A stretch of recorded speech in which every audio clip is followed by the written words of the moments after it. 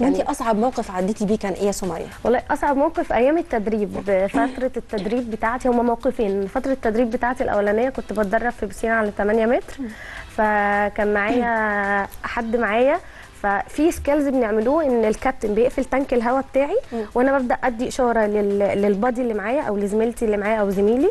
بديله إشارة إن أنا ما عنديش هواء. آه. فبيبدأ يديني آه، أكسجين هواء من تسلموا بعض آه بيساعدوا بعض. آه بيبدأ يديني هوا من معاه فانا عملت كده. الكابتن قفل عليها التانك وبدأت أبدل معاها.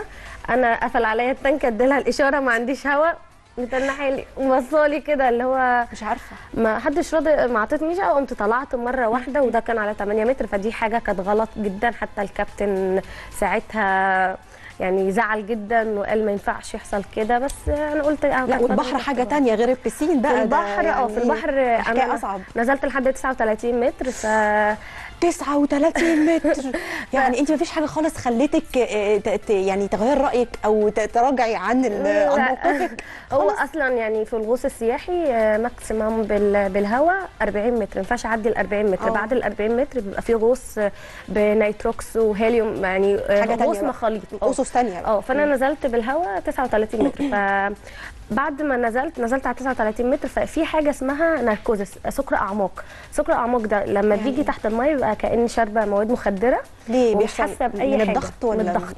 مم. ومن ضغط الهواء. إن أنا آه، ممكن يجي لي الحاجة دي. فأنا حسيت ببوادرها. كان حصل لي دوار فأعطيت إشارة لل- للبادي اللي كان معايا زميلي اللي كان معايا.